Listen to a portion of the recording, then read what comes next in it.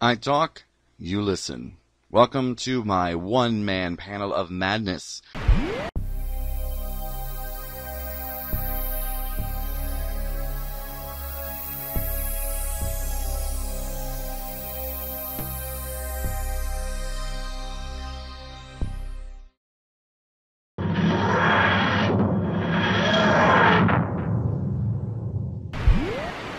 Everyone, this is Dr. Giohu, and I really hope everyone's staying safe and healthy.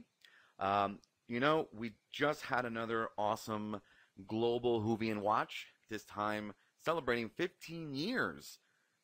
Wow, I, I you know just thinking about that for a moment, 15 years since a whole new generation of Doctor Who fans uh, were introduced to the Doctor, as portrayed by Christopher Eccleston and Billie Piper as Rose in the episode Rose.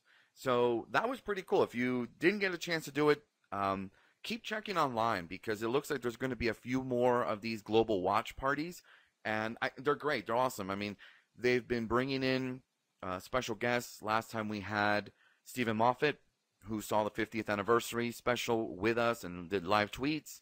We also just now had the man himself, Russell T. Russell T. Davies, join us um, doing a live tweet along talking about the episodes, as well as Mark Benton, who played Clive, uh, who unfortunately loses his life in the first episode. Uh, but yeah, it's you know again, it's great that we are able to kind of connect without physically connecting, and it's kind of really showing now how powerful the internet can be in this kind of communication. Uh, you no longer have to be you know together on one place. Now, of course, I'm all for social gatherings and so forth, but there's a bit of an isolation nature to me. Um, I do like to retreat. I do like to spend time uh, by myself reading, and so this kind of kind of agrees with me. Um, I'm not saying that I'm not a social person. I mean, I do go to conventions and have fun, but there are times where I really just want to be doing things kind of on my own. And uh, so, really, I really enjoy uh, kind of attending these things. And it's been a great Whovian week. Uh, we also had a really nice video from Jodie Whittaker as a doctor. I mean, I really enjoyed it. Uh, her, you know, talking about really giving us hope about being isolated. Now she's being chased by the Sontarans, uh, giving us hope. You know, darkness will not prevail. And uh, although I, of course, I already see, you know, some uh, 13th Doctor haters jump on and make negative comments. I just have to say, you know, folks, if this is driving you to the point where you can't enjoy it anymore, step off. You know, get away. Um, it, this is just no longer for you. Take a break. Uh, whatever you need to stay healthy and stop complaining. This was an act of pure compassion for, if anything else, the young viewers. You know, we tend to think that as adults, oh yeah, we're gonna get through this, we're fine. You know, I'm sure a lot of kids out there are pretty terrified at knowing that mommy and daddy are not going to work. Mommy and daddy are always watching CNN to make sure that this thing doesn't kill everybody. Um, so for her to record this, and now I, from what I understand, I think it was mostly done uh, by Jodie on a phone, and then obviously the the BBC went out, edited whatever they did. I just thought it was brilliant, to coin her phrase, uh, because again, it's not just for us, the fans, but for children. You know, it's like the doctor really coming in to our homes and saying, "Hey, it's gonna be okay. We're gonna get through this."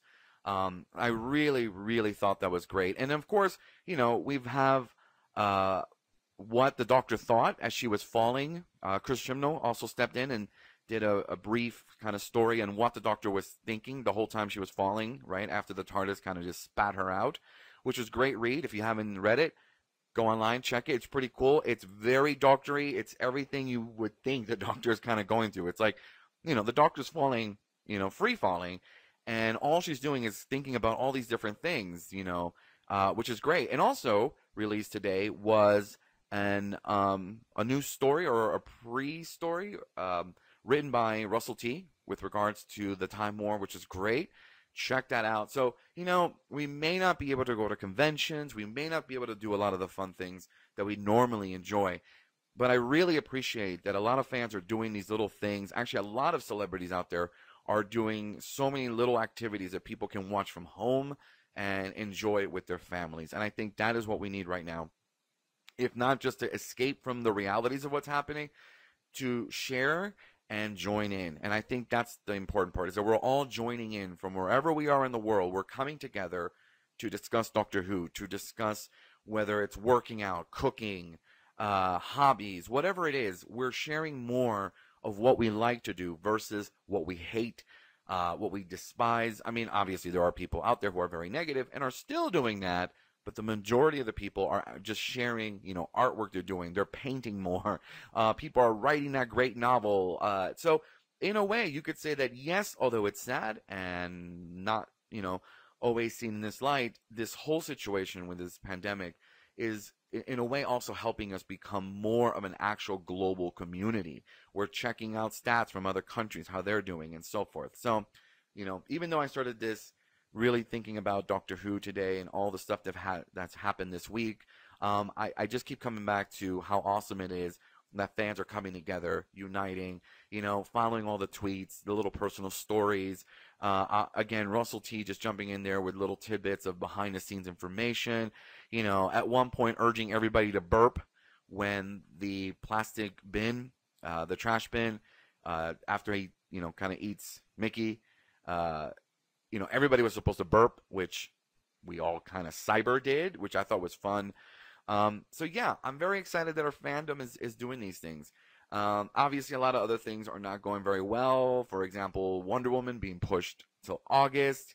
I almost hoped that uh, Warner Brothers would have said, "Hey, we're going to release it digital, uh, you know, on screens." Now, granted, a movie like Wonder Woman should be seen in theaters.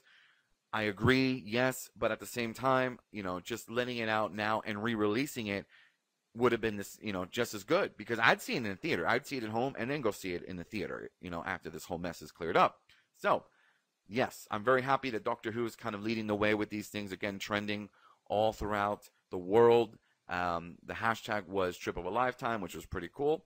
And next time we have Vincent and the Doctor, which I admit was what allowed me to kind of turn my mind and not necessarily accept well, actually, yeah, accept uh, Matt Smith as the Doctor because uh, I was very attached to the Tenth Doctor, and I've said this a million times, and I'm sure you know if I had a nice violin, I'd play it in the background for you. But you know, after uh, David Tennant regen- after the Tenth regenerated, I just couldn't really get into Matt Smith, and the whole series up until Vincent and the Doctor, I was just you know, kicking and screaming, not my doctor, he's too young, you know, this is not Doctor Who, and all this other crap, which I learned my lesson. See, the thing is, if you learn your lesson and can turn it around, that is called wisdom.